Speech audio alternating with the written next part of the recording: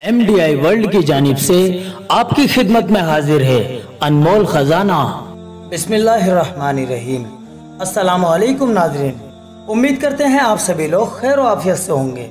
ناظرین، انمول خزانہ کے ایک اور نئے ایپیسوڈ میں آپ سبھی لوگوں کا تہہ دل سے استقبال ہے۔ آج کے ایپیسوڈ میں ہم آپ کو بتائیں گے، قرآن کریم پر سب سے پہلے نقطے کس نے لگائے؟ چلیے شروع کرتے ہیں۔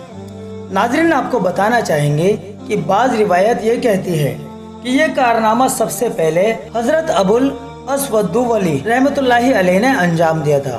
بعض لوگوں کا یہ کہنا ہے کہ انہوں نے یہ کام حضرت علی رضی اللہ عنہ کے کہنے پر کیا۔ بعض لوگوں کا کہنا ہے کوفہ کے گورنر زیاد بن ابو سفیان نے ان سے یہ کام کروایا۔ اور ایک روایت میں یہ بھی ذکر کیا گیا ہے کہ قرآن کریم پر نقطے لگانے کا اہم کام حجاج بن یوسف نے حضرت حسن بصری رحمت اللہ علیہ، حضرت یاہیا بن یامر رحمت اللہ علیہ اور نصر بن عاصم لیسی رحمت اللہ علیہ کے ذریعے انجام دیا۔